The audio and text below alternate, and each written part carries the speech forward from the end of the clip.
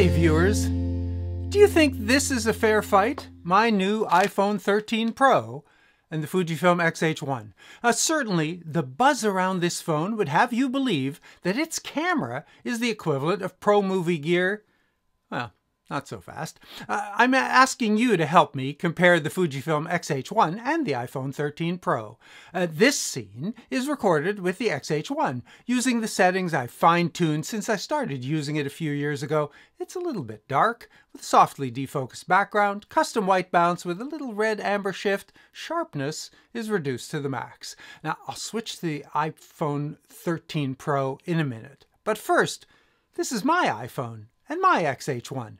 Neither Apple or Fujifilm has paid me or reviewed this video before I posted it. Well, as always, the devil's in the details. On the iPhone, there's no way to adjust most of the settings I'm used to from other cameras, and some settings preclude others.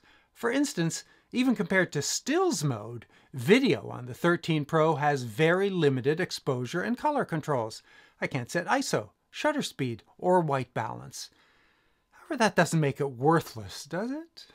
Well, on the iPhone, I'm starting with basic settings before getting fancy with HDR, ProRes, and Cinematic mode. You'll find the recording settings not in the Camera app, but in Settings, Camera. Two options for video format. The newer H.265, called High Efficiency here, is usually called HEVC, and H.264, called most compatible, because it is generally more compatible than H.265, uh, for the moment anyway. The X-H1 only records in H.264. You can turn Apple's ProRes codec on here too. 6 gigabytes per minute at 4K 30 well, off until we get ourselves set. And that's it.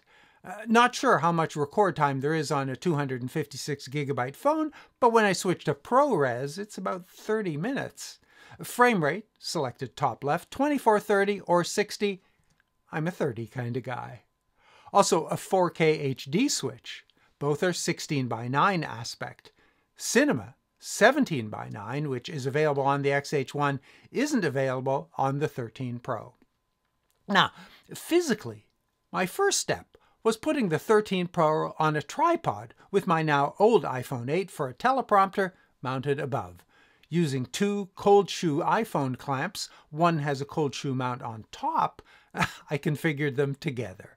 The drawback here is that you'll need to be careful that the clamp doesn't push any of the phone's buttons and that there's enough room behind to access the on-screen controls. Awkward. then set the position and the focal length to compose the shot. The XH1 is generally 2 meters away from my desk and I'm about one meter in front of the bookshelves, with a focal length set at about 50 millimeters on the XF16 to 55 lens. I can get the composition and background defocus I like. I'm switching to the 13 Pro. Uh, it has three lenses on the back. On screen, they're selected using the 1x, 3x, and 0.5x buttons, or press and slide to go from ultra-wide, 13 millimeters, to wide, 26 millimeters, and tele, 77 millimeter equivalent. I'm getting the positioning right before I worry about focus and exposure. In my studio, from the 2 meter distance, the setting I need is 2.5, which provides the equivalent of my usual composition. But the quality here, particularly for skin tones, uh, seems low. I wasn't sure if those in-between focal length settings compromised quality. So I also tested 3x, placing the camera 3 meters away, and 1x, with the camera about 3 quarters of a meter away. That is uncomfortably close, and the background is too wide.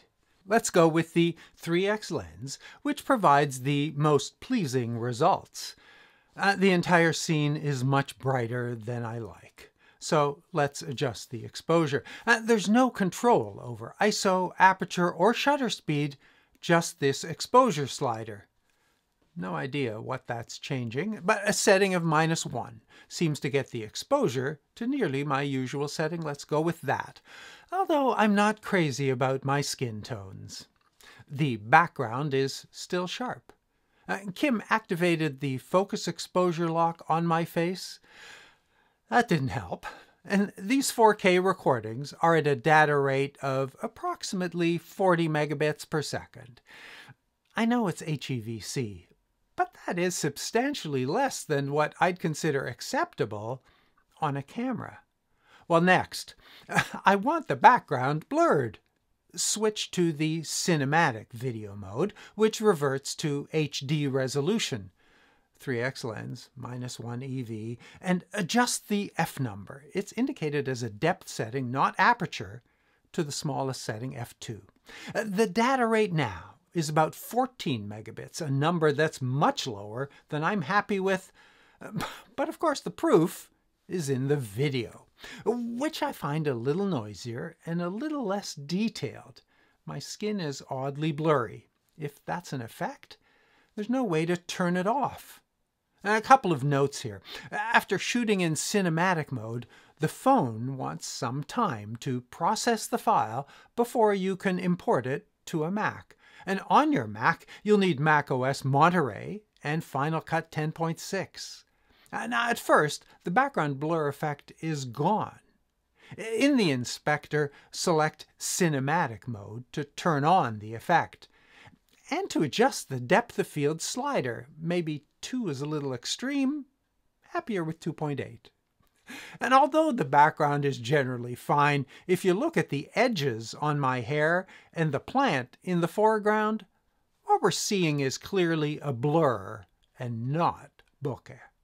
That said, I've now got the shot to where I want it, but I'm disappointed. My take it's not suitable for this purpose.